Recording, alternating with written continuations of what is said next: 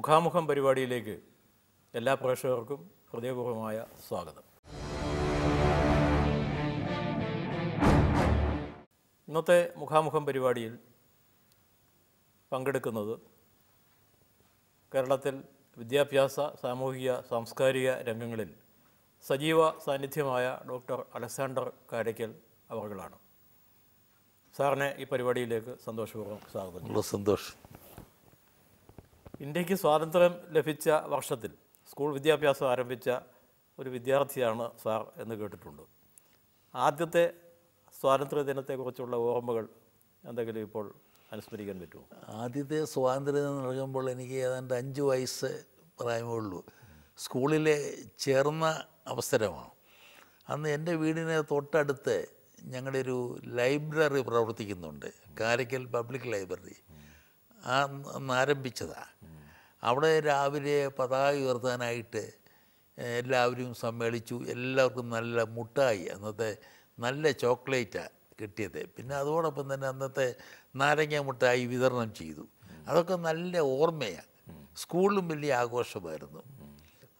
സാറിന്റെ കുട്ടിക്കാലം വാസ്തവത്തിൽ ഈ രാജവാഴ്ചയുടെ ഒരു സംസ്കാരം അവശേഷിക്കുന്ന കാലം കൂടിയാണ്. അതെ അതെ. ഞാൻ ഓർക്കുന്നു സ്കൂളിൽ പഠിക്കുന്ന കാലത്ത് തന്നെ എനിക്ക് ചെറിയ ഓർമ്മയുണ്ട് ചിത്രനാൾ മഹാരാജാവിന്റെയൊക്കെ തിരുനാൾ ആഘോഷം അന്ന് വഞ്ചീശ്വര മംഗളഗാനം പാടിയും അന്ന് രാവിലെ പഠിത്തം പഠിത്തമില്ല അന്ന് വലിയ സന്തോഷമാണ്. വിദ്യാർത്ഥികൾക്ക് നാരങ്ങ സ്പൂണുള്ള കളി സൂചി കോർക്കൽ ഇതെല്ലാം ഉണ്ട് ജയിക്കുന്നവർക്ക് നല്ല സമ്മാനവും. സ്കൂൾ ഹെഡ് മാസ്റ്ററൊക്കെ ഞങ്ങളെ സ്വീകരിക്കുന്നതൊക്കെ ഞങ്ങൾ ഓർക്കുന്നുണ്ട്. ഈ തിരുവിതാംകൂർ രാജകുടുംബത്തിന്റെ ഭരണത്തെപ്പറ്റി പൊതുവെ ജനങ്ങൾക്കുണ്ടായിരുന്ന ഒരു ചിന്താഗതി എന്താണ്? കേട്ടറിവ് എങ്ങനെയാണ്? എന്റെ കേട്ടറിവ് പറഞ്ഞാൽ വളരെ നല്ല കാലമെന്നാണ് പറയുന്നത് നമ്മുടെയൊക്കെ സുവർണ ദശയാണെന്നാണ് പറയുന്നത് ഒരു അന്യോന്യം സ്നേഹം സന്തോഷം ജീവിതത്തെക്കുറിച്ച് ഒരു ഭയപ്പാടില്ലാത്ത കാലമാണ്. മഹാരാജാവിന്റെ ഭരണം ഈ ജനാധിപത്യം രുചിച്ചറിയുന്നു. നമ്മുടെ ഭരണമാണെന്നൊക്കെ പറഞ്ഞാലും ഇന്ന് പഴമക്കാരും മറ്റുള്ളവരും ഒരു പരിധി വരെ സമ്മതിക്കും നല്ല അംശങ്ങൾ രാജഭരണത്തിൽ ഒരുപാടുണ്ടായിരുന്നു.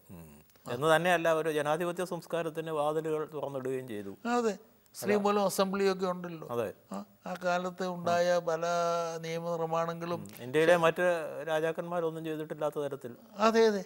രാജാക്കന്മാരുടെ സമിതിയാണ് നരേന്ദ്രമണ്ഡലം ഒക്കെ ഉണ്ടെങ്കിലും തിരുവാങ്കൂർ മഹാരാജ അവിടെ ഉയർന്നു നിന്നിരുന്നു. പ്രത്യേകിച്ച് ക്ഷേത്രപ്രവേശന വിളംബരം. അതെ. അതൊക്കെ നമുക്ക് മഹാ നമ്മുടെ ഗാന്ധിജിയുടെ പോലും മഹാത്മാവിന്റെ എല്ലാ പ്രശംസയും. പ്രശംസയും പിടിച്ചു പറ്റിയ ആളാണ് അപ്പം അങ്ങനെ ഒരു മഹിതോജ്വലമായ ഒരു കാലഘട്ടം വാസ്തവത്തിൽ നമുക്ക് ഭൂതകാലത്തിലുണ്ട്. തീർച്ചയായിട്ടും. അവിടെ നിന്ന് ജനാധിപത്യത്തിലേക്ക് പ്രവേശിക്കുമ്പോൾ അത് ജനങ്ങളുടെ ഭരണമാണ് എന്നൊരിക്കലും ആ ഭരണം നമ്മൾ ആഗ്രഹിച്ച തരത്തിൽ ഉയർന്നിട്ടില്ല എന്നാണ് ഇപ്പോഴും തോന്നുന്നത് അല്ലേ? അതെ ഇപ്പോഴും അങ്ങനെയുള്ള ഒരു ചിന്താഗതി ഉണ്ട്. അത് ശരിയാ. രാജഭരണകാലത്ത് അഴിമതി ഇതുപോലെ ഉണ്ടായിരുന്നു എന്ന് പറയാൻ പറ്റില്ലല്ലോ. ഇല്ല ഇത്രയും ഉണ്ടെങ്കിൽ അല്ലെങ്കിൽ ഉണ്ടെങ്കിൽ തന്നെ നമുക്കറിയാം പഴയ കാലത്തെ കാലം വല്ലുത്തമ്പിളി തലയുടെ കാലം ഈ മാത്തു തെരേന്റെ കാലം എന്തൊക്കെ ജയന്ത തമ്പൂരിന്റെ കാലം എന്തൊക്കെ സംഭവിച്ചു ഇവിടെ. അഴിമതി ഉണ്ടെങ്കിൽ അവന് ശിക്ഷയും കൊടുത്തിട്ടുള്ള കാലമുണ്ട് അതെ. അപ്പോൾ അപ്പം നമ്മുടെ ജനാധിപത്യത്തിന്റെ അറുപത് വർഷങ്ങൾ പിന്നിട്ടിരിക്കുകയാണ്. തീർച്ചയായും അപ്പോൾ വിലയിരുത്തുമ്പോൾ വാസ്തവത്തിൽ നമുക്ക് ആഹ്ലാദത്തെക്കാളധികം നിരാശയാണ് അനുഭവപ്പെടുന്നത്. അങ്ങനെയുള്ള ഒരു കാഴ്ചപ്പാടുണ്ട്. പിന്നെ നമ്മുടെ ഒരു ഭരണം വന്നല്ലോ. ഇത് അത് ഗവൺമെന്റാണ്. ജനാധിപത്യത്തിലെ ഗവൺമെന്റും ജനങ്ങളും ഒന്ന്. അതാണ് ഏറ്റവും വലിയ തത്വം അതിന്റെ. ഇതിനേക്കാൾ മികച്ച മറ്റൊരു സംവിധാനമില്ല. സംവിധാനമില്ല. എപ്പോഴും എന്തെല്ലാം ന്യൂനതകൾ ഉണ്ടെങ്കിലും ഉണ്ടെങ്കിൽ തന്നെയും ഏറ്റവും ലാസ്കി പറയുന്നത് എപ്പോഴും ആ ഒരു വാദഗതി. അത് വളരെ ചിന്താഗതിയിൽ നമ്മൾ അത് ഉറച്ചു നമുക്ക് ഒരു വോയിസ് ഉണ്ട്. എനിക്ക് എന്റെ ഒരു ഗവൺമെന്റിൽ എനിക്ക് ഒരു സേ ഉണ്ട്. എനിക്കെന്തെങ്കിലും അവതരിപ്പിക്കാൻ കഴിയുമെന്നുള്ള ചിന്താഗതി. പക്ഷേ അത് നമ്മുടെ പ്രതീക്ഷയ്ക്കൊത്ത് ഉയർന്നോ എന്നുള്ളതാണ് നമ്മൾ ഇന്ന് ചിന്തിക്കേണ്ട വിഷയം. അപ്പോൾ സാറിന്റെ ഈ സ്കൂൾ വിദ്യാഭ്യാസം കഴിഞ്ഞിട്ട്? തുടർന്നുള്ള വിദ്യാഭ്യാസം എവിടെയൊക്കെയാണ്? ഞാൻ എന്റെ സ്കൂൾ വിദ്യാഭ്യാസം കാരയ്ക്ക് തന്നെയായിരുന്നു ഞങ്ങളുടെ എൽ പി സ്കൂളിലായിരുന്നു. അത് കഴിഞ്ഞ് ഞാൻ പെരിങ്ങര ഗവൺമെന്റ് ഹൈസ്കൂളിലെ P M E prince Marthandavarma high school അവിടെ നിന്നൊക്കെ എസ് എസ് എൽ സി പാസ്സായി. ആ നല്ല കാലത്തിന്റെ ഓർമ്മയുണ്ട് സ്കൂൾ വിദ്യാഭ്യാസത്തിന്റെ അന്നത്തെ അധ്യാപകരെ കുറിച്ചും. അത് കഴിഞ്ഞ് തിരുവല്ല മർത്തോമ കോളേജിലെ പ്രീ യൂണിവേഴ്സിറ്റിയാണ് അതിന് ചേർന്നു. അത് കഴിഞ്ഞ് മൂന്ന് വർഷത്തെ ഡിഗ്രി കോഴ്സിന് അവിടെ ആ കാലഘട്ടത്തിലായിരുന്നു അവിടുത്തെ കോളേജ് യൂണിയൻ സ്പീക്കറായിരുന്നു. എം എക്ക് തിരുവനന്തപുരം യൂണിവേഴ്സിറ്റി കോളേജിൽ പഠിച്ചു. പി എച്ച് ഡിക്ക് റിസർച്ചിന് അമേരിക്കയിലെ പ്രിൻസ്റ്റണിലെ ഫുൾ ബ്രൈറ്റ് സ്കോളർഷിപ്പോടുകൂടി പോകാൻ വലിയൊരു അവസരമുണ്ട്. പിന്നെ യൂണിവേഴ്സിറ്റിയാണ് യൂണിവേഴ്സിറ്റിയെക്കുറിച്ചുള്ള സങ്കല്പം എന്താണെന്നുള്ളത് യാഥാർത്ഥ്യമായി കണ്ട ഒരു വേദിയാണ് അവിടെയാണ് പ്രഗത്ഭനായ ഐൻസ്റ്റീൻ ഫിസിക്സ് പഠിപ്പിച്ചു. അമേരിക്കൻ പ്രസിഡന്റായിരുന്ന ഉഡ്രോ വിൽസൺ അവിടെ ചരിത്രവും പൊളിറ്റിക്സും പഠിപ്പിച്ചു. ആ വലിയ യൂണിവേഴ്സിറ്റിയുടെ താളുകളിൽ കണ്ട കാര്യങ്ങൾ യാഥാർത്ഥ്യമായപ്പോൾ എനിക്ക് വലിയ സന്തോഷം തോന്നി. അപ്പോൾ ഒരു അധ്യാപകനാകണമെന്നുള്ള ഒരു ആഗ്രഹം മനസ്സിലുണ്ടാകത്തക്ക വിധം സാറിനെ പ്രചോദിപ്പിച്ച ഏതെങ്കിലും അധ്യാപകനുണ്ടോ? തീർച്ചയായിട്ടും സ്കൂളിൽ പഠിപ്പിച്ചപ്പം തന്നെ ഞാൻ ഇന്ന് ഓർക്കുന്നു. എന്നെ ഇംഗ്ലീഷ് പഠിപ്പിച്ച കുഞ്ഞിരാമൻ നായർ സാറും രാമേരി സാറും അതുപോലെ ചരിത്രം പഠിപ്പിച്ച കൈമൾ സാറും ഒക്കെ യഥാർത്ഥത്തിൽ ഞങ്ങളെ ആമസോൺ നദി എന്താണെന്ന് അദ്ദേഹം ഞങ്ങളുടെ ക്ലാസ്സിൽ നിന്ന് ഞങ്ങളെ കാണിച്ചു തന്നു. അപ്പോൾ എന്റെ വലിയൊരു ആഗ്രഹമായിരുന്നു ആമസോൺ നദി കാണണം. ഒരു ആറേഴ് കൊല്ലം മുമ്പേ എനിക്ക് ആമസോണിൽ ബ്രസീലിൽ പോകാൻ അവസരം കിട്ടി. അതായത് ഡബ്ല്യു സി സിയുടെ മീറ്റിംഗ് വേൾഡ് കൗൺസിൽ ഓഫ് ചർച്ചസിന്റെ. അന്ന് ഓർത്തഡോക്സ് സഭയുടെ ഡെലിഗേറ്റ് ആയിട്ട് പോയപ്പോൾ എന്റെ വലിയ ആഗ്രഹം വൈകിട്ടത്തെ ഷോപ്പിങ്ങിനൊന്നും പോകാതെ ഞാൻ ആമസോൺ നദി കാണാൻ പോയി. ഓ എന്റെ സ്വപ്നം എന്നെ സാറ് പഠിപ്പിച്ചതുപോലെ തന്നെ ആമസോണ്. അതുപോലെ എന്താ ഇംഗ്ലീഷ് അധ്യാപകർ ഗീറ്റ്സിനെ കുറിച്ചും അതുപോലെ വേഴ്സ്വത്തിനെ കുറിച്ചും ഒക്കെ പഠിപ്പിച്ചിട്ടുള്ളത്.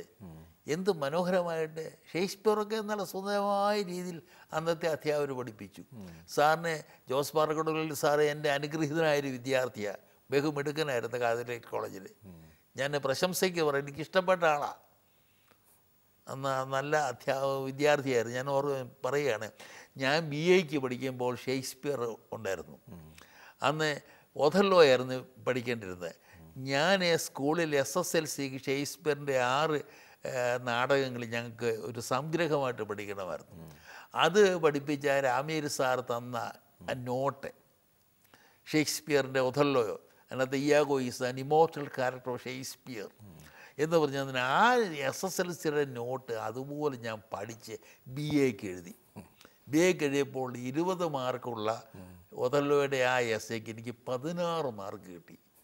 ഞാൻ എന്റെ എസ് എസ് എൽ സി എന്ന് പതിനൊന്നാം ക്ലാസ് വരെ ഉണ്ട് ആ നോട്ടാണ് ഞാൻ അവിടെ എഴുതിയത്. അപ്പോൾ ആലോചിച്ച് നോക്ക്.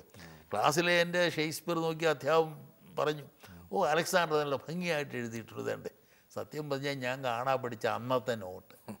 ചെറിയ മാറ്റത്തോടുകൂടി ഞാൻ കോളേജ് രീതിയിൽ അവതരിപ്പിച്ചെന്നുള്ളൂ. അപ്പോൾ അന്നത്തെ അധ്യാപകരുടെ നിലവാരം. അപ്പോൾ ഈ ചരിത്രം ഇഷ്ടവിഷയമായിട്ട് തിരഞ്ഞെടുക്കാനുള്ള ആ ചരിത്രം എനിക്ക് പഴയ പണ്ട് പഠിക്കുമ്പോൾ എന്റെ ഫാദർ എനിക്ക് ആറേഴ് വയസ്സുള്ളപ്പം തന്നെ വീട്ടിൽ മൂന്ന് പത്രം കിട്ടും. അന്നൊരു പത്രത്തിന് രണ്ട് രൂപയാണ് വില. അപ്പോൾ അന്ന് മനോരമ പൗരധ്വനി ദീപിക. ഈ മൂന്ന് പത്രങ്ങൾ എന്റെ വീട്ടിലുണ്ട്. അപ്പോൾ അന്ന് പത്രങ്ങളിൽ പത്രങ്ങൾ രണ്ട് ഉണ്ടെങ്കിലും വരുത്തുന്ന ആ വീടുകൾ കുറവാണ് അപ്പം കുറേ സമയം കഴിയുമ്പോൾ രാവിലെ കഴിഞ്ഞ് എന്റെ വീട്ടിലെ എല്ലാ ആളുകളും കൂടെ ഇങ്ങനെ കൂടും. അപ്പോൾ അന്ന് ചർച്ചകൾ നടക്കുമ്പോൾ ഒരു ദിവസം ഞാൻ വായിച്ചപ്പോൾ അൻപത്തി രണ്ടിലെ കാലമാണ് അന്ന് എനിക്ക് പതിനൊന്ന് വയസ്സേ ഉള്ളൂ. അമേരിക്കൻ പ്രസിഡന്റ് തിരഞ്ഞെടുപ്പ്. അതിഭയങ്കരമായിട്ടൊന്ന് പത്രക്കാർ റിപ്പോർട്ട് ചെയ്തു. ഡെമോക്രാറ്റിക് പാർട്ടിയുടെ സ്ഥാനാർത്ഥിയായിട്ട് വരുന്ന ഇല്ലിനോയിലെ ഗവർണർ സ്റ്റീവൻസറാണ് അഡ്ലൈ സ്റ്റീവൻസൺ എതിർക്കുന്നത് രണ്ടാം ലോകമയുദ്ധത്തിലെ കമാൻഡ് ചീഫായിരുന്ന ഐസൻ ഹോറാണ് അപ്പോൾ ഇത് വായിച്ചു കഴിഞ്ഞപ്പോഴത്തേക്ക് വലിയ സന്തോഷം തോന്നി. ഞാൻ ഇലക്ഷനെ കുറിച്ചൊക്കെ കൂടുതൽ മനസ്സിലാക്കി. ആ മനസ്സിലാക്കിയത് എനിക്ക് ചരിത്രവും ഈ രാഷ്ട്രമീമാംസയിലും താല്പര്യം വന്നു. ഞാൻ പി എച്ച് ഡിക്ക് പോയപ്പോൾ പ്രസിഡന്റ് തിരഞ്ഞെടുപ്പിനെ കുറിച്ചാണ് ഞാൻ ഡോക്ടർ തീസിസിനെ ഞാൻ ഗവേഷണം നടത്തിയത്. അപ്പം അന്നൊരാഗ്രഹം ഉണ്ടായിരുന്നു വക്കീൽ പണിക്ക് പോയ ബി എല്ലിന് ചേർന്നാൽ കൊള്ളാമെന്നും ഉണ്ടായിരുന്നു. കാര്യം പ്രസംഗിക്കാനുള്ള അവസരമുണ്ട്. കോളേജിലൊക്കെ പഠിക്കുമ്പോൾ നടത്ത് നല്ല ഡിബേറ്റ്സ് നടക്കും. ഇന്ന് യൂണിയൻ പ്രവർത്തനം അങ്ങനെയാണ് അതെ. രാഷ്ട്രീയമില്ല. രാഷ്ട്രീയമില്ല. രാഷ്ട്രീയം ഉണ്ടെങ്കിൽ ആഴ്ചയിൽ ഒരു ആഴ്ചയിൽ ഇംഗ്ലീഷ് ഡിബേറ്റ് ആണെങ്കിൽ പിന്നെ ആഴ്ച മലയാളം. മോക്ക് യു എൻ നടത്തിയിട്ടുണ്ട്. മോക്ക് പാർലമെന്റ് നടത്തിയിട്ടുണ്ട്. കാര്യം ഇന്ന് എങ്ങനെയാണ് നടത്തുന്നത്? ഇന്ന് മോക്ക് പാർലമെന്റ് നടത്താൻ ഒക്കുമോ എല്ലാത്തിന്റെ ആ തകർച്ചകൾ വന്നിട്ടുണ്ട്. പക്ഷേ എന്നോട് ചോദിച്ച ചോദ്യം ആ താല്പര്യം വന്നുകൊണ്ട് ഒരു അധ്യാപകനായി പഠിക്കാനായിട്ട് എം എക്ക് പോകണം തോന്നി. പിന്നെ കിട്ടാവുന്ന നല്ല ജോലി ശമ്പളം കുറവായിരുന്നെങ്കിലും ഞാനൊക്കെ പഠിപ്പിക്കാൻ കയറുമ്പോൾ കിട്ടുന്ന നൂറ്റി ഇരുപത്തഞ്ച് രൂപ ശമ്പളമാണ് പക്ഷെ എനിക്ക് തോന്നുന്നു ആ നൂറ്റി ഇരുപത്തഞ്ച് രൂപയ്ക്ക് ഇന്നത്തെ യു ജി സിക്ക് ഒരു ലക്ഷം വാങ്ങിക്കുന്ന വിദ്യ അധ്യാപകന് കിട്ടുന്നതിനേക്കാളും അഭിമാനം ഉണ്ടായിരുന്നു എന്ന് വിശ്വസിക്കുന്ന ആളാണ് ഞാൻ. നൂറ്റി ഇരുപത്തഞ്ച് രൂപ കൊണ്ട് സംതൃപ്തിയുണ്ട്. അപ്പോൾ സാറ് യൂണിവേഴ്സിറ്റി കോളേജിലാണോ തിരുവനന്തപുരം യൂണിവേഴ്സിറ്റി കോളേജിലാണോ ബിരുദാനന്തര പഠനം നടത്തുന്നത്? അതെ അതെ തീർച്ചയായിട്ടും. ആ കാലത്തൊക്കെ അവിടുത്തെ അധ്യാപക യൂണിവേഴ്സിറ്റി കോളേജിൽ അധ്യാപകർ എന്ന് പറഞ്ഞാൽ അതിപ്രഗത്ഭന്മാരുടെ നിരയാണ് professor N Krishnapillai sir O N B Thirunelloor കരുണാകരനെ Daniel sir N S ബാറ്റർ ഇംഗ്ലീഷിന്റെ ആണെങ്കിൽ ജയകുമാരെ ഹൃദയകുമാരി ടീച്ചറ്. എന്ന് വേണ്ട അത് Ayyappa പണിക്കരെ doctor Eeswarapillai P G Ed എന്നിട്ട് ഏത് ഡിപ്പാർട്ട്മെന്റിലും ബെസ്റ്റാണ് ഉള്ളത്. അത് ഒന്നാം താമസം യൂണിവേഴ്സിറ്റി ഹോസ്റ്റലാണ് താമസിക്കുക തൊട്ടടുത്ത്. അതുകൂടാതെ ബി ജെ ടി ഹാളിൽ ചെന്നാൽ എന്ന് പരിപാടി കാണും. ഞാൻ ഇപ്പോഴും ഓർക്കുന്നതെന്ന് സ്വാമി ജന്മിയാനന്ദൻ അവിടെ വന്നു. അപ്പം എൻ എസ് സാർ വിളിച്ച് പറഞ്ഞു സാറ് നിങ്ങൾ എം എ എം എസ് സിക്കാരെല്ലാം പോയി ആ പ്രസംഗം കേൾക്കണം. അപ്പം അന്നത്തെ ഇപ്പോൾ ടി പി ശ്രീനിവാസനെ ഞങ്ങളൊക്കെ എം എക്ക് ഒരുമിച്ച് പഠിച്ചവരാ. രണ്ട് വിഷയമാണെന്നേ ഉള്ളൂ. അങ്ങനെ ഒരുപാട് ആളുകൾ ഞങ്ങളെല്ലാം എം എ എം എസ് സിക്കുള്ളവരെല്ലാം ആ യോഗ പ്രവർത്തനങ്ങൾ ഒരുപാടുണ്ട് പാഠ്യേതര പ്രവർത്തനങ്ങൾക്കും. വലിയ പ്രാധാന്യം വലിയ പ്രാധാന്യമുണ്ട്. അതിലെല്ലാം എനിക്ക് ആ സമയത്ത് സാർ ചോദിച്ചു പോലെ ഒരുപാട് പ്രസംഗ പ്രബന്ധ മത്സരങ്ങളിലൊക്കെ പങ്കെടുക്കാനുള്ള വലിയ അവസരം ഉണ്ടായിരുന്നു. അങ്ങനെ അതുപോലെ തന്നെ എഴുതാനും തുടങ്ങി. എഴുതാനും തുടങ്ങി. അങ്ങനെ ഒരു പ്രഭാഷകൻ എന്നുള്ള നിലയിൽ എഴുത്തുകാരൻ എഴുതുന്നത് കേരളമുതിൽ നിന്ന് മുറിക്കാൻ വീക്കെൻഡ് മാഗസിനിൽ എഴുതുമായിരുന്നു. ഇപ്പോഴും ഞാൻ തോന്നുന്നു പ്രസിഡൻഷ്യൽ കാൻഡിഡേറ്റ് ആയിരുന്ന അറ്റ്ലായി സ്റ്റീവൻസിന്റെ മരണത്തിന്റെ കലാമുതി കേരളമുതി എന്ന് കൊടുത്തതാ. അമ്മ- ലോകത്തിലെ ഏറ്റവും വലിയ ലിബറലായ അമേരിക്കൻ നേതാവ് അറ്റ്ലായി സ്റ്റീവൻസൺ അന്തരിച്ചു. ഒരു ഫ്രണ്ട് പേജ് മുഴുവൻ ഒരു ലെറ്റേഴ്സ് കൊടുത്തിരിക്കുകയായിരുന്നു. പ്രത്യേകിച്ച് കെ സുകുമാരൻ അതിന് വലിയ താല്പര്യം ഉണ്ടായിരുന്നു അപ്പോൾ ഈ അമേരിക്കൻ പ്രസിഡന്റ് തെരഞ്ഞെടുപ്പുമായി ബന്ധപ്പെട്ടാണ് സാറിന്റെ പി എച്ച് ഡി എന്റെ പി എച്ച് ഡി അതിനെക്കുറിച്ച് ബന്ധപ്പെട്ടു. ഇത് വാസ്തവത്തിൽ പല പ്രത്യേകതകളും ഉള്ളതാണല്ലോ അമേരിക്കൻ പ്രസിഡന്റ് തെരഞ്ഞെടുപ്പ്. ഇപ്പോൾ അതിന്റെ സമയമായിരിക്കും അതെ അതെ അപ്പോൾ അതെന്താണ് അതിന്റെ പ്രധാന സവിശേഷതകൾ? അതിന്റെ സവിശേഷത എന്ന് പറഞ്ഞാൽ ഒന്നാമത്തെ കാര്യം എന്ത് എമർജൻസി ഉണ്ടായാലും യുദ്ധമാണെങ്കിലും എന്ത് ആഭ്യന്തര പ്രശ്നങ്ങളാണെങ്കിലും നാല് കൊല്ലം തികയുമ്പോൾ ഇലക്ഷൻ നടന്നിരിക്കും. രണ്ട് ലോകമായുദ്ധങ്ങളുടെ നടുവിലും അമേരിക്കയിൽ ഇലക്ഷൻ നടന്നു. നമ്മളാണെങ്കിൽ എന്തെങ്കിലും കാരണം പറഞ്ഞ് ഇത് മാറ്റിവെക്കും കൃത്യമായിട്ട് നടത്തും ഇലക്ഷൻ പിന്നെ അതിനകത്ത് വേറൊരു പ്രത്യേകത അവിടെ ഒരു പ്രസിഡന്റ് ആകണമെങ്കിൽ അവന്റെ കുലമഹിമയൊന്നും വേണ്ട. ഇന്ന കളിന്ന മകൻ അല്ലെങ്കിൽ വല്യപ്പന്റെ മകൻ ചീഫ് ജസ്റ്റിസ് ആയിരുന്നു അല്ലെ പ്രധാനമന്ത്രിയായിരുന്നു മുഖ്യമന്ത്രിയായിരുന്നു എനിക്കും ആ കസേരയിലേക്ക് വരണം എനിക്കും ആ ഷൂ ഇടണം. ഇതൊന്നുമല്ല. നമുക്കറിയാം ആ സമയകാലത്ത് നടന്ന കാർട്ടർ ഇവൻ ജീവിച്ചിരിപ്പുണ്ട്. വെറും നിലക്കടല കച്ചവടക്കാരനാണ് പക്ഷേ ഒരു വിഷൻ ഉണ്ടെങ്കിൽ ഒരു തീരുമാനമുണ്ടെങ്കിൽ അമേരിക്കൻ പ്രസിഡന്റ് ആകാൻ കഴിയും. അതിന് കഴിവ് മാത്രം മതി. ഡിബേറ്റ് വാദപ്രതിവാദത്തിലുള്ള ആളിന്റെ കഴിവ്. ഒരു ചൊല്ലുണ്ട് ഈ വർഷത്തെ ഇലക്ഷൻ ഇപ്പം രണ്ടായിരത്തി പതിനാറ് നവംബർ എട്ടിന് തീരും. അന്ന് ഒൻപതാം തീയതി രാവിലെ മുതൽ രണ്ടായിരത്തി ഇരുപതിലേക്കുള്ള ഇലക്ഷൻ ആരംഭിക്കും പ്രചരണം. അന്ന് മുതൽ സ്ഥാനാർത്ഥികളായിട്ടുള്ളവരെ ഓരോ മേഖലയിൽ അതായത് കോക്കസ് എന്നൊക്കെ പറഞ്ഞ് നമുക്കറിയാം പ്രൈമറി അറിയാം. ന്യൂ ഹംഷെയർ പ്രൈമറി മുതലേ അവസാനത്തെ നാഷണൽ കൺവെൻഷനോട് വലിയ ആവേശമാണ്. അപ്പം അതിന് കഴിവ് അതിന് ഒരു മഹിമയും വേണ്ട. എനിക്ക് കഴിവുണ്ടെങ്കിൽ ഞാൻ ആ സ്ഥാനത്തേക്ക് വരും. ഏറ്റവും പ്രധാനപ്പെട്ട മേഖല ടിക്കറ്റ് കിട്ടുക എന്നുള്ളതാണ്. ജീവിതത്തിന്റെ നല്ല ഭാഗം അതിനുവേണ്ടി കളയുന്നത്. ഇപ്പം പന്ത്രണ്ട് മാസം ഉണ്ടെങ്കിൽ ഈ നാല് കൊല്ലത്തിൽ അവസാനത്തെ വർഷം ജൂൺ ജൂലൈയിലാണ് ഇതിന്റെ നാഷണൽ കൺവെൻഷൻ വരുന്നത്. നാഷണൽ കൺവെൻഷൻ എന്ന് പറയുകയാണെങ്കിൽ ഓരോ പാർട്ടിയുടെയും ഓരോ ഏരിയയിൽ നിന്നുള്ള പ്രതിനിധികൾ വരും. അൻപത് സ്റ്റേറ്റ് ഉണ്ട്. ഓരോ സ്റ്റേറ്റിന്റെ വലിപ്പം അനുസരിച്ചുള്ള അംഗസംഖ്യ. വലിയ സ്റ്റേറ്റായ ന്യൂയോർക്ക് മുതൽ നെവേഡ വരെയുള്ള മേഖലകളിൽ നിന്ന് ആളുകളെ തിരഞ്ഞെടുക്കും. അങ്ങനെ പ്രതിനിധികൾ കൺവെൻഷൻ രണ്ട് പാർട്ടിയുടെയും കൺവെൻഷൻ രണ്ട് സ്ഥലത്തായിരിക്കും. ചിലപ്പം രണ്ടുപേരും ഒരു സ്ഥലത്ത് തന്നെ നടത്തും. അപ്പം പാർട്ടി ടിക്കറ്റ് കിട്ടിക്കഴിഞ്ഞാൽ പിന്നെ അവരുടെ ലക്ഷ്യം ഈ അൻപത് സ്റ്റേറ്റിൽ പോയി പ്രസംഗിക്കുക എന്നുള്ളതാണ്. അപ്പോൾ ഈ പാർട്ടിയുടെ പ്രാദേശിക പ്രതിനിധികളാണ് ഈ സ്ഥാനാർത്ഥിയെ തിരഞ്ഞെടുക്കുന്നത്? സ്ഥാനാർത്ഥി സ്ഥാനാർത്ഥി പ്രാദേശിക പ്രതിനിധികളാണ്. അതിന് പറയുന്നത് അവരുടെ local representative elected by the local council എന്ന് അവർ പറയുന്നത്. അല്ലാതെ പാർട്ടി നേതാക്കൾ തീരുമാനിക്കുകയല്ല. നേരിട്ട് പാർട്ടി നേതാക്കന്മാരല്ല അവരുടെ അവരുടെ കമ്മിറ്റി കൂടി തീരുമാനിക്കും. പിന്നെ തീരെ നിവൃത്തിയില്ലെങ്കിൽ അവർ പറയും ലോക്കൽ പ്രസിഡന്റിനെ നമ്മുടെ കെ പി സി സി പ്രസിഡന്റെന്നോ എ ഐ സി സി പ്രസിഡന്റെന്നോ പറയുന്നത് പോലെ അവിടെ പാർട്ടി പ്രസിഡന്റ് അത്ര വലിയ സ്വാധീനമില്ല. ഓരോ കൗണ്ടിക്കുള്ള ലീഡർഷിപ്പിനാണ് അതിന്റെ പ്രാധാന്യം വരുന്നത്. അപ്പം ഇങ്ങനെ പ്രതിനിധികൾ കൂടി പണ്ട് അവിടെ തന്നെ വോട്ട് നടക്കും. ഇപ്പം പ്രൈമറിയിലെ കഴിവ് തെളിയിച്ചു കഴിഞ്ഞാൽ ഡെലിഗേറ്റ്സ് ഇത്ര പേരുണ്ടെന്ന് പറഞ്ഞാൽ അതനുസരിച്ച് അവിടെ തിരഞ്ഞെടുപ്പ് നടക്കും. പക്ഷേ പ്രസംഗങ്ങളൊക്കെ നടക്കും എൻഡോഴ്സ്മെന്റ് വരും. പ്രസിഡന്റ് തന്നെ ആയിരിക്കും വൈസ് പ്രസിഡന്റിനെ നോമിനേറ്റ് ചെയ്യുന്നത്. പക്ഷേ ഈ പല പ്രാവശ്യം ഇതിന് മാറ്റം വന്നിട്ടുണ്ട്. തൊള്ളായിരത്തി അൻപത്തിരണ്ടിലെ അൻപത്തി ആറ് അൻപത്തി ആറിലാണ് ടെലിവിഷൻ ആരംഭിക്കുന്നത് അമേരിക്കയിൽ ഡിബേറ്റ് ശരിയായിട്ട് തുടങ്ങുന്നത് സിക്സ്റ്റിയില്ല അതുവരെ വിസിൽ സ്റ്റോപ്പ് എന്നാണ് പറഞ്ഞത്. റെയിൽവേ സ്റ്റേഷനിൽ ഓരോ കാൻഡിഡേറ്റിൽ നിന്ന് പ്രസംഗിക്കും. അവിടെ ജനങ്ങൾ വളരെയധികം കൂടും. അങ്ങനെ ട്രെയിൻ യാത്ര സെപ്റ്റംബർ ഫസ്റ്റിനാണ് ആരംഭിക്കുന്നത്. ആ ട്രെയിൻ യാത്ര. അത് ഒക്ടോബർ വരെ നീണ്ടു നിൽക്കും. അത് കഴിഞ്ഞിട്ട് ഏറ്റവും വലിയ കീ സ്റ്റേറ്റ് അതായത് ഫിലഡൽ പെൻസിൽവേനിയ അവിടെ ഫിലഡൽഫിയ വാഷിങ്ടണ് അങ്ങോട്ട് മാറിയാൽ New Hampshire New York New Jersey ആ ഏരിയ എല്ലാം കൂടെ കവർ ചെയ്ത്. പിന്നെ അങ്ങോട്ട് കാലിഫോർണിയ ടെക്സസ് ഈ മേഖലകളിലൊക്കെ ചെന്നാൽ വളരെ ജനകീയ ആവേശം കാണാം. അവിടെ ഈ പ്രസംഗങ്ങളൊക്കെ കഴിഞ്ഞ് എല്ലാ രീതിയിലും സ്ഥാനാർത്ഥികളെ മനസ്സിലാക്കി കഴിഞ്ഞ് ഗാലപ്പോളൊക്കെ ഒന്ന് ആരംഭിച്ച കാലമാണ് ഇപ്പോഴത്തെ കാലത്താണെങ്കിൽ ഓരോ മാസത്തിലും നാലും അഞ്ചും പത്ര ഈ ശേഖരണം നടക്കും. വോട്ടിനെ കുറിച്ചുള്ള പുതിയ അഭിപ്രായം. ഹിതപരിശോധന. ഹിതപരിശോധന നടക്കും. അന്നപ്പോൾ ഇങ്ങനെ അവരവിടെ പ്രസംഗിച്ച് കഴിഞ്ഞിട്ട് അടുത്ത നിലപാടെന്താണെന്ന് ചോദിച്ചാൽ ഈ ഇലക്ഷന് ആദ്യത്തെ ട്യൂസ്ഡേ വരും. ഈ ട്യൂസ്ഡേ ആണ് വരുന്നതെങ്കിൽ നവംബറിലെ ആദ്യത്തെ ചൊവ്വാഴ്ച കഴിഞ്ഞാൽ ആദ്യത്തെ ചൊവ്വാഴ്ച തിങ്കൾ കഴിഞ്ഞ് വരുന്ന ചൊവ്വാഴ്ച ഇലക്ഷൻ വരുന്നത്. ആ ഇലക്ഷനിൽ ഈ സ്ഥാനാർത്ഥികളെ ഈ ഇലക്ഷൻ പ്രസിഡന്റ് മാത്രമല്ല ഏതൊക്കെ പോസ്റ്റ് ഉണ്ടോ അതിനില്ല ഈവൻ നമ്മുടെ പഞ്ചായത്ത് മെമ്പറെ പോലെ തന്നെ അവിടുത്തെ കൗണ്ടിയിലേക്കുള്ള ഇലക്ഷൻ വരെ നടക്കും. ചെറിയ പട്ടണം ഭരിക്കേണ്ട ആരാ ടൗൺഷിപ്പ് ആരാണ് ഭരിക്കേണ്ടത് സിറ്റി ഭരിക്കേണ്ടത് ആരാണ് പിന്നെ ഹെൽത്ത് സൈഡ്. അങ്ങനെ എല്ലാം ഒരു ബാലറ്റ് പേപ്പർ കിട്ടിയാൽ നിറച്ച സ്ഥാനാർത്ഥികളാണ് അപ്പോൾ അവിടെ പോയി വോട്ട് ചെയ്തിട്ട് പ്രസിഡന്റ് സ്ഥാനാർത്ഥിക്ക് വോട്ട് ചെയ്തിട്ട് അവരിങ്ങി പോരും.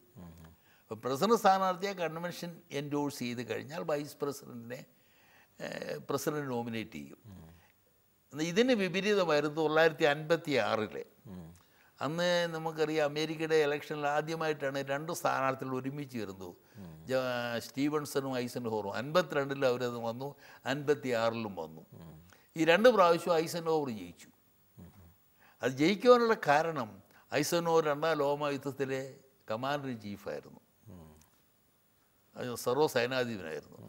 പിന്നെ ഡെമോക്രാറ്റ്സ് ഇരുപത് കൊല്ലവും തുടർച്ചയായിട്ട് ഭരിച്ചു. റൂസ്വെൽറ്റിന്റെ കാലം. അപ്പോൾ ഒരു ചേഞ്ച് ആവശ്യപ്പെട്ടു അല്ല കാൻഡിഡേറ്റ് ബേസ് നോക്കുകയാണെങ്കിൽ സ്റ്റീവൻസൺ ആയിരുന്നു ബെസ്റ്റ് അത് ഇൻട്രസ്റ്റിംഗ് ആയിട്ട് സംഭവമാണ് തിരുവനന്തപുരത്ത് സ്റ്റീവൻസൺ വന്നു.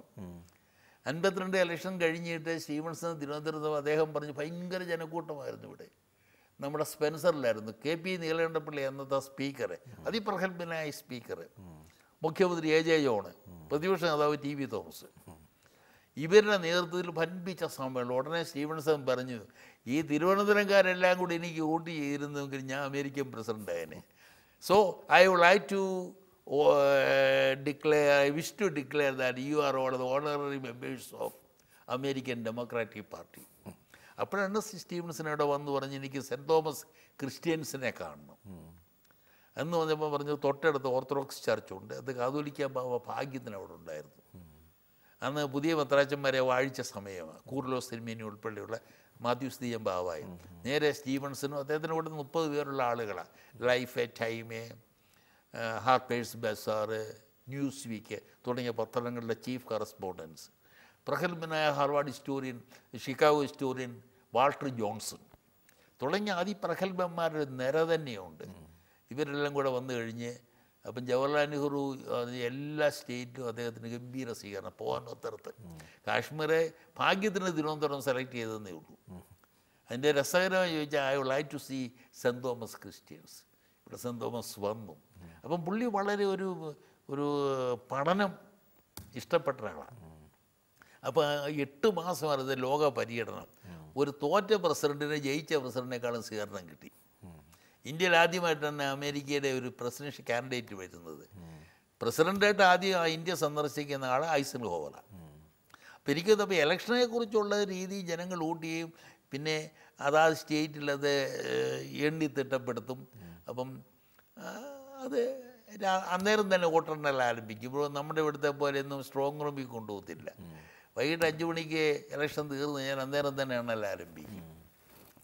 ഏതാണ്ട് രാത്രി രണ്ട് മണിയാകത്ത് തോറ്റ കാൻഡിഡേറ്റ് ഉടൻ തന്നെ പറയും ഇന്നലെ വരെ നമ്മൾ ഡെമോക്രാറ്റും റിപ്പബ്ലിക്കനുമായിരുന്നു.